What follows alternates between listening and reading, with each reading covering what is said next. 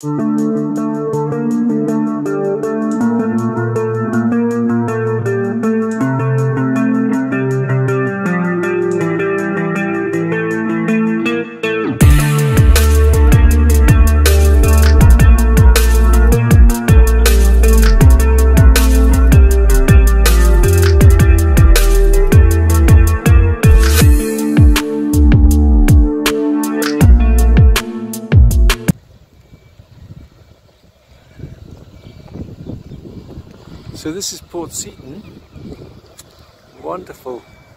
jewel of a harbour with working fishing boats where we're going to be spending three days sketching first to find some compositions, looking in all directions where there's so much to work with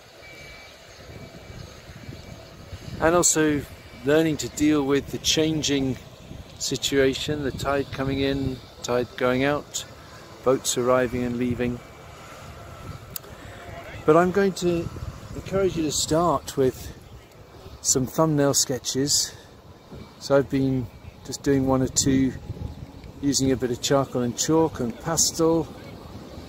As I say, looking in different directions, different formats, and on the basis of what you might find from these quick summary impressions will then begin working in oil paint and I'm going to in a moment show you a demonstration of working in a similar way to the Swedish artist Anders Zorn using a limited palette work, working wet in wet with uh, oil paint and alla prima technique which is ideal really for catching these uh, changing, fleeting conditions.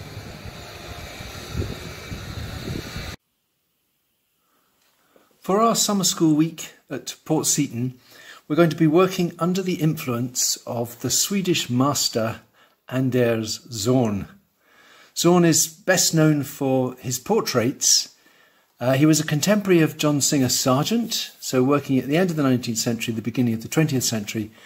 And uh, like Sargent, uh, he was um, a virtuoso oil painter who worked with a wet in wet technique. He's particularly known as well for um, his use of a limited palette uh, known as the Zorn palette. Uh, these three colours titanium white, uh, well, in, in our case, cadmium red, yellow ochre, and ivory black.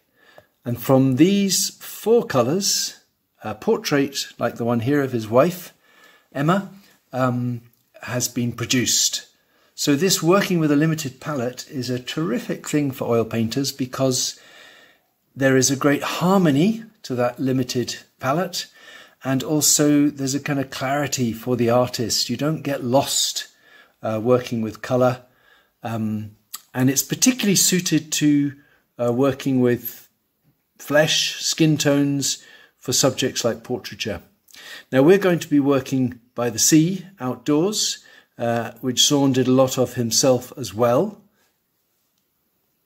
Here's a nice example, uh, In My Gondola from 1894, where Zorn's been painting um, in Venice.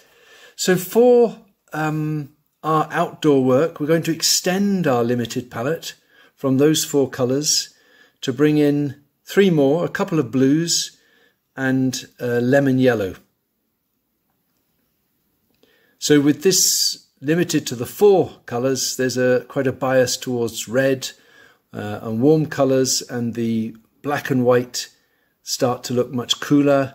The black can even look a bit blue, but not blue enough uh, and eventually not green enough as well for working with some of the colours of the water and um, foliage and so on.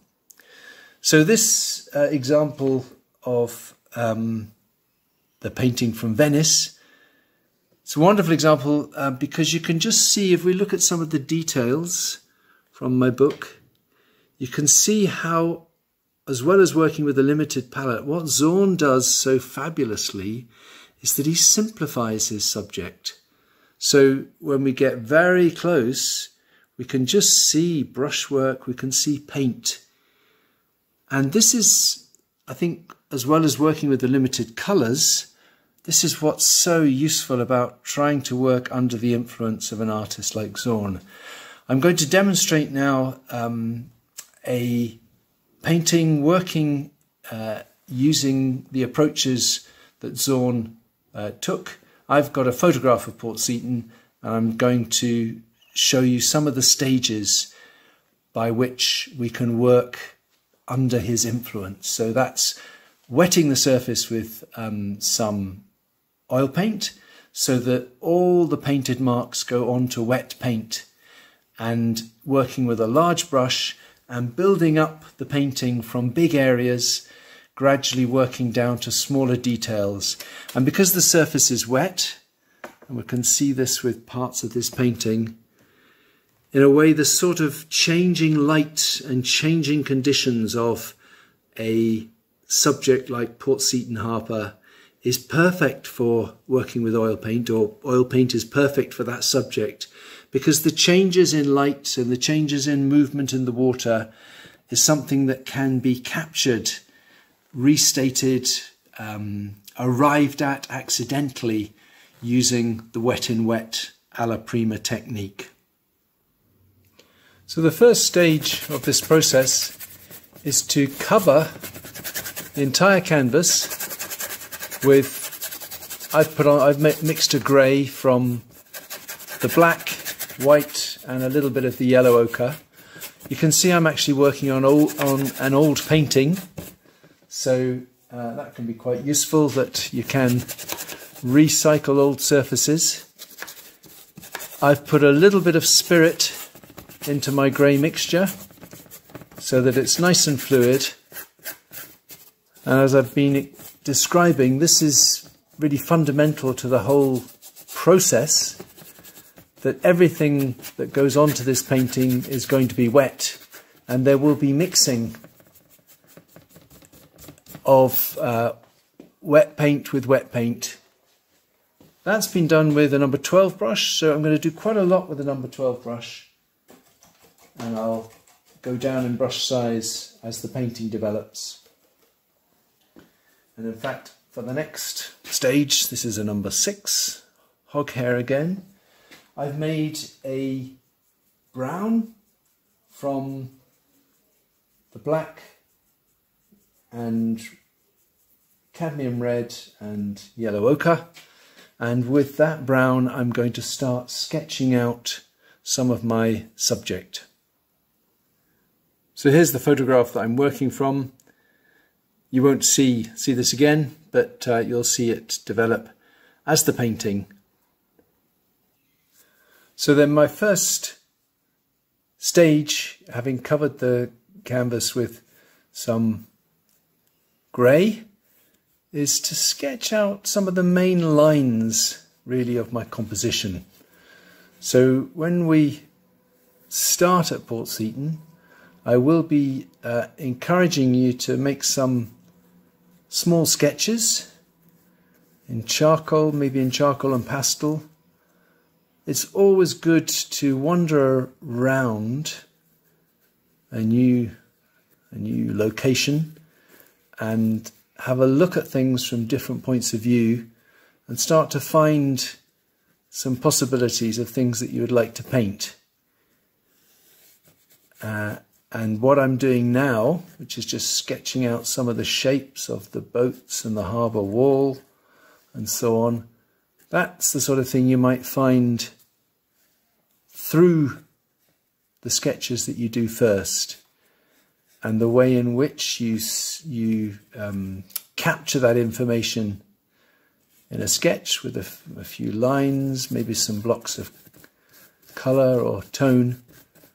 That's what is worth beginning the painting process with as well. And you'll see that I've haven't taken any new paint yet. So as I put in some of this brown, it actually mixes with the grey and that softens it. It even loses its, its uh, darkness, its tone, its tonal quality. Um, and that might be something that works to my advantage if I'm after a softer edge, the way in which the light and shade works on the water, for example, is uh, full of these soft transitions. But maybe the edge of a boat, um, a lighter part of the cabin of a boat, or a bright colour on a yellow boat's hull is something that I want to be a sharper, cleaner um, quality. So I'll be looking at how to manage that, to manage the mixing of the colour in the painting. But the first thing I'm going to do colour wise is block in the main areas. So what I see is a harbour wall, some sky, and uh, the water, the sea. So I'm going to block them in first, those big shapes, and then work into them with their variations in, in colour and tone. And I've got a new brush that's dropping hairs everywhere. So I'm beginning with the harbour wall and I'm making a mixture with uh, some black, some yellow ochre, a little bit of the cadmium red and a bit of the white. And I've been mixing that with my palette knife because really fundamental to this Zorn style alla prima way of working is that you have a lot of paint. As I've already suggested, when you work wet in wet, the colours you put on are softened and uh, lose their edge, lose their brightness. And so it's important to have stocks of colour that you can return to in order to uh, top up that uh, colour, the brightness, the sharpness, and so on. I've been, you might have seen there, uh, I put a drop of medium. So this is uh, in my dipper, and it's a mixture of oil and terps. And that, I hope you can see, makes the paint a little bit more fluid. Not runny, but fluid. And that means it's easier to manage, to mix, and to work with uh, the mixing on the surface of the painting. So with that one colour, which is my harbour wall colour, and also something of the reflections, I'm just going to work around my drawing and put in some of the blocks of that colour. Now these boats, as you'll discover or maybe remember, are full of complicated details. They've got masts and they've got buoys and all sorts of things. But we're saving that for now. And you'll have seen um, or heard explanations of artists' approaches to working with colour and light. And there are those who would work from dark to light. Some of us have been looking at Constable. With this approach, um, similar to Zorn's, it's not necessary to work from dark to light. You can actually go in both directions. And what I'm going to be tending to do is block in areas with almost the middle colour and then add dark and add light. So now I need a colour for some of the um, reflections of the sky and the water. There's a, a kind of blue which I'm going to work with next. So with a bit of ultramarine and some titanium white, a bit of the cadmium red. The cadmium red is pretty strong, so I'm always a little bit more cautious with that.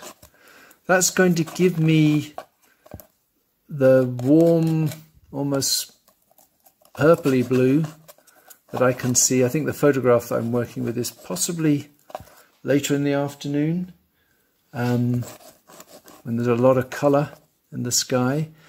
And I'm also going to add some of my brown. You saw me start with the brown, so I'm going to just mix a little bit of that in to calm that down and put a drop of the medium in. So I dipped my palette knife into the dipper and uh, mix that through to make that a bit more fluid. So let's try and work with that. So I'm still working with my number 12 brush and you can see in a way this demonstrates nicely what oil painting brushes are for. You pick up a good quantity of pre-mixed paint on the tip of the brush. So this is a loaded brush and I want to put that on pretty directly, not, not work it too much because the more I work it, the more it mixes. And what's on the end of my brush now is no longer that clean colour. It may be there are places where I can still use some of the, the muddied colour, but otherwise what I've got to do is wipe that brush, possibly dip it in the spirit if I want to clean it completely, but it's enough just to wipe it on the rag and then I can pick up more paint. And in that way, I can control how much this colour firstly mixes with the grey that I'm working into, and secondly, how much it mixes with other wet colours. And for this effect of light uh, on water, where there's a kind of gradual softening of the colour as uh, one area meets another, um, oil paint is, is pretty good for that, creating that effect.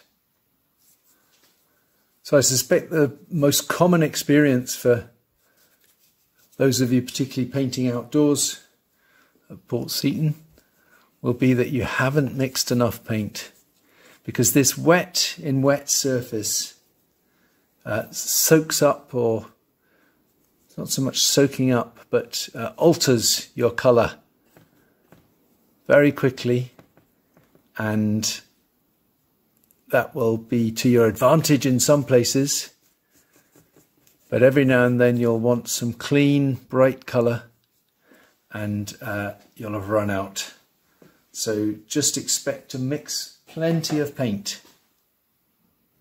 The next thing I'm going to do is to darken parts of the harbour wall so that I can begin to define these boats a little bit. So I'm still working with this um, size 12 brush because that is the best way to simplify because I can't do very much detailing because the brush is so big. I have to find the simplest shapes to summarize what is um, in my subject. And as I've been explaining, every time I do that, the paint on the tip of the brush is no longer clean. So I've got to decide if there's anywhere, and actually with this harbour wall there probably is, anywhere that I can use the, the muddied paint. And one of the features of the harbour wall is a whole set of ladders running down to the boats. And I think actually I might just use up the paint that's left on the brush just to start to indicate them. So again, as, as I've been saying, you need to be aware of what's on the tip of your brush, and you may use it, but there's no good hoping that it's the right thing. You need to know what it is and use it in the places where it would work. And there's a kind of dark edge to the wall as well. So I've used some not clean paint and there's various things well, I know what they are. It's all the old nets and pots. There's a few things up there that I'm just starting to indicate, again using not clean paint. One more thing maybe to do after I've cleaned my brush with that darker harbour wall colour is to find a few more reflections in the water. The shadows of the harbour wall are also reflected in the water a bit. So the big brush simplifies things and as the artist working with this changing scene, because it will be changing, you know, the tide comes in and goes out, um, I've got to find ways of simplifying and summarizing that. So next I'm going to mix up some colours for the boats and block in some of the main areas of the boats. So I've switched to um, a number six brush, so it's a bit smaller. Um, the principle really is to try and work with the biggest brush you can get away with. And I want to put on some of the colour of the hull of the yellow boat. And actually that, yeah, that sort of goes into shadow a bit. So it's got a it's got a brighter colour at one end. So I'm letting some of this mix at the front. But in a way, everything that I do at this early stage is provisional. It's certainly not, many of these colours aren't the brightest that they're going to be um, I'm going to be able to work back into them and freshen them up, particularly in the way that I described, you know, having enough paint to be able to return to a colour.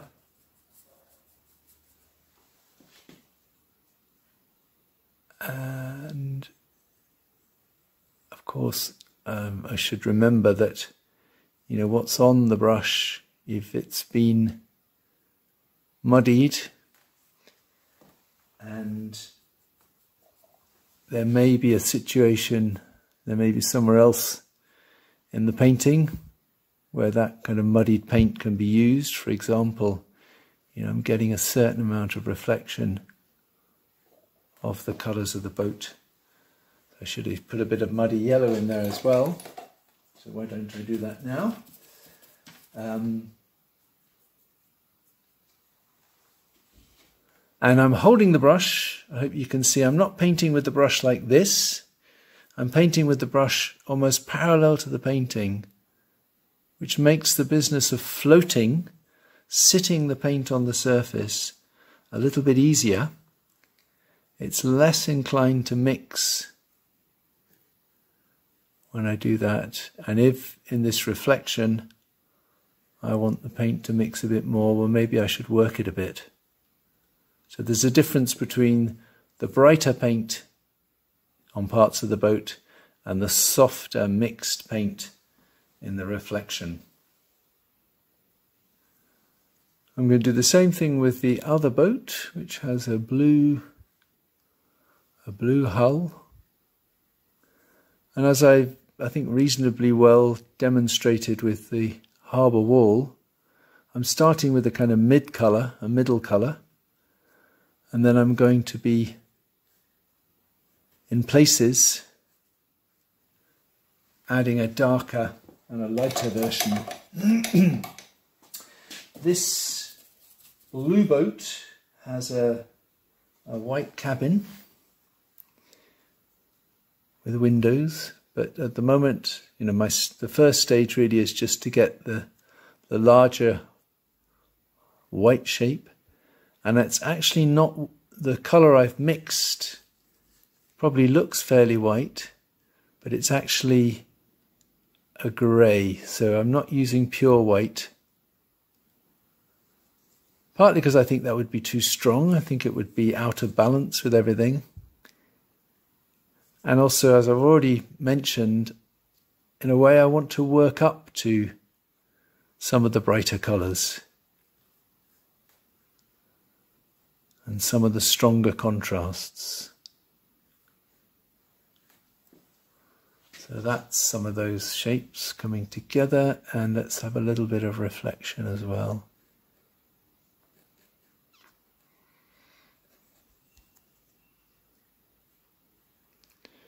And a lot of that mixing of the reflection is really my original um, grey that I covered the canvas with.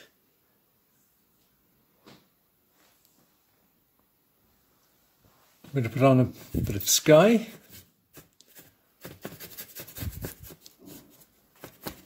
And then I've mixed something for the lighter areas of the water. So in a way it's kind of coming together with what I'm doing in the sky as the light, as I bring out the light in the sky,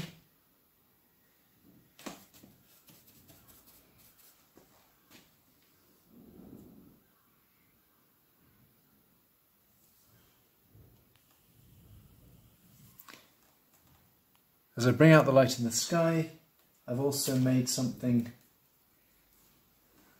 for a lighter colour on the water.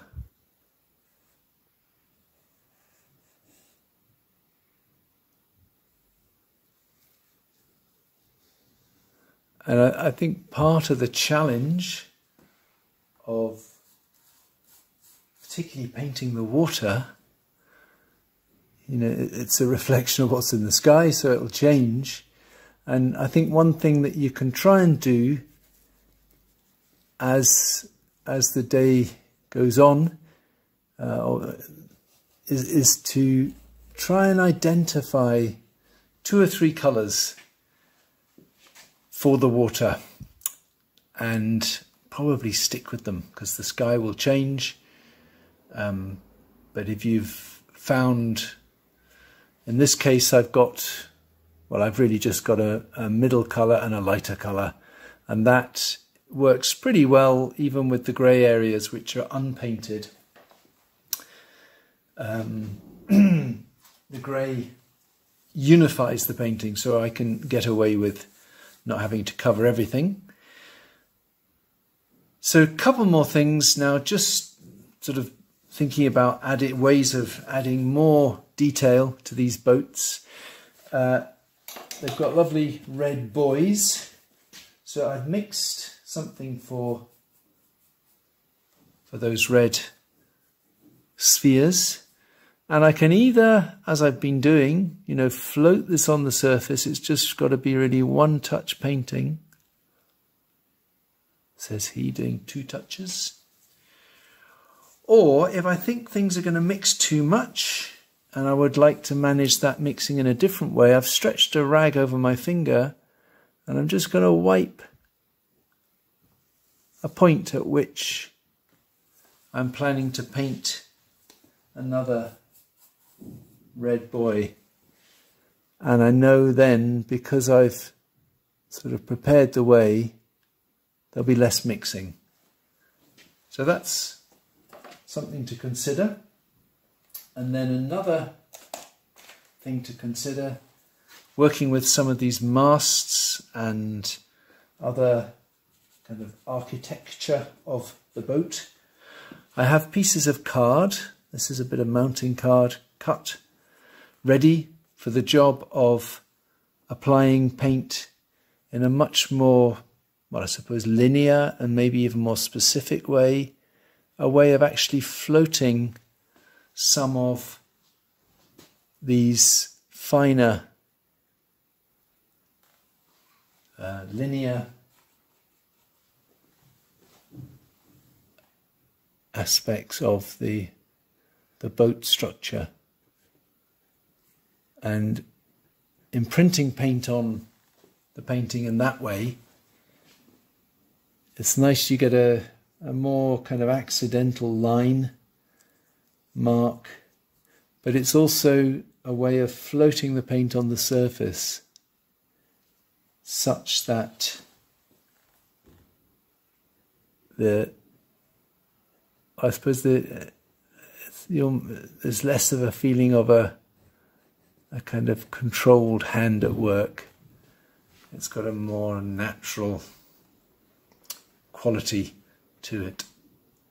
So there's much more I would do to these um, these boats to the water, but I've just tried to give you a bit of an introduction to the way of getting the painting started on a wet surface, preparing lots of paint, using this limited palette and trying to use a big brush to simplify and establish a structure as I have done here and then onto that you can gradually build smaller uh, observations uh, along the way.